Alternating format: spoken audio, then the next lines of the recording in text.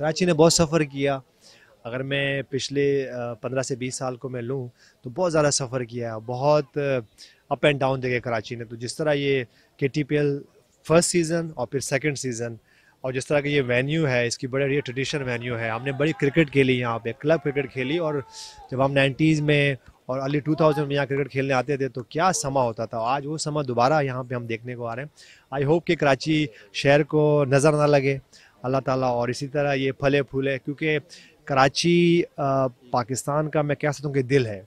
तो इस दिल को इसी तरह धड़कना चाहिए और ये मेरी दुआ है कि रोशनी का शहर और ज़्यादा रोशनियाँ हम सब की लाइफों में लेके आए। बड़े बड़े इवेंट्स होते हैं और अगर ये शुरुआत इसी तरह होती है कि दुनिया में कुछ भी आया है तो उसकी शुरुआत होती है। तो ये शुरुआत हो चुकी है इसकी और मुझे लगता है कि बहुत जल्द ये क्रिकेट और प्रमोट होगी और इससे पाकिस्तान के यंगस्टर और ख़ास तौर पर जो टे बॉल खेलने वाले हैं, टे बॉल फॉलो करने वाले हैं, टे बॉल को सपोर्ट करने वाले लोग हैं फैंस फॉलोवर वो सब इसको सपोर्ट करेंगे और इसमें वो आप कह सकते हो कि और पाकिस्तान का बिज़नेस बढ़ेगा प्लेयर्स को और हेल्थी वेल्थी होंगे। तो ये बड़ा एक अच्छा साइन है कि जब प्लेयर्स इस तरह के स्टेज पे परफॉर्म करते हैं, उनके नाम होते हैं और सोशल मीडिया का दौर है तो जिस तरह ये यहाँ की रौनकें बहाल हो रही हैं, पूरे पाकिस्तान में इस तरह हो। और जैसे हम पाकिस्तान की लीग्स की बात करें हम पीएसएल की बात करें हम कश्मीर प्रीमियर लीग की बात करते हैं तो ये मुझे लगता है कि उसके बाद ये थर्ड मेगा इवेंट पाकिस्तान का होने जा रहा है। आप ये ये ना ना, ना सोचेंगे ये टेप बॉल की है कि ये हार्ड बॉल की है ये कौन सॉफ्ट कोई और सॉफ्ट बॉल की है।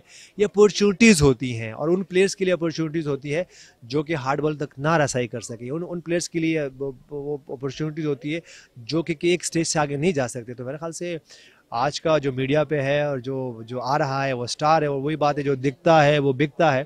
तो मेरे ख्याल से इससे अच्छा दिखना और बिकना और क्या हो सकता है? पीएसएल के मैच हुए उसके बाद हम जब से ये पाकिस्तान में दोबारा क्रिकेट आई, हमने देखा कि श्रीलंका की टीम बार बार आई है, यहाँ पे वर्ल्ड एलेवन की टीम आई और अब यहाँ जिस तरह के मैचेस होते हैं, हम देखते हैं कि जैसे मैंने पहले कहा कि बिज़नेस आ रहा होता है, और प्लेयर और इस तरह क्रिकेट मैच नहीं होता, अगर हम बात करें तो इससे बियॉन्ड है, बहुत कुछ हो रहा होता है साथ में। तो मेरे ख्याल से इसी तरह उम्मीद है कि पाकिस्तान में और क्रिकेट हो, और इवेंट्स अच्छे अच्छे हों। के टी पी एल ने एक मैच कराया, मैं उसमें नहीं था, मेरी कोई ट्रैवल थी, लेकिन ये अच्छे एफर्ट्स है, आप मेरे, अपनी कैपेसिटी में ये एफर्ट करें, और जिस तरह ये इंग्लैंड और पाकिस्तान की सीरीज़ होने जा रही है। उसकी कोई कोई उसका परसेंटेज उस उस ये जो पाकिस्तान में जिस तरह फ्लड आया हुआ है और जिस तरह सिर्फ़ एक इंटीरियर सिंध में नहीं है, पूरा पाकिस्तान इससे अफेक्ट है।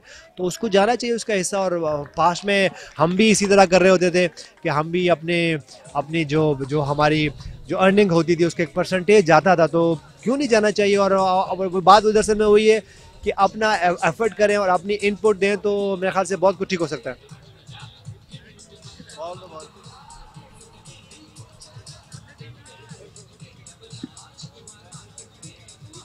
जिसकी भी, जहाँ भी हो सके सपोर्ट करें, वो किसी भी मद में हो सपोर्ट करें, ज़रूरी नहीं कि आप पैसे के दें बहुत से लोग आए, बहुत आई डी आए हुए, उनको, उनकी हेल्प करें, राशन के तौर पर जिसको, जो, जहाँ जहाँ मौका मिले, वो आगे आए और अपने कैपेसिटी में हेल्प करें। तो मेरे ख्याल से ये जो हम बात करते हैं ना कि जब अल्लाह से आप कारोबार करते हो तो फिर अभी अगर हम एक रुपये देंगे तो अल्लाह हमें अपने हिसाब से फिर कितने देगा?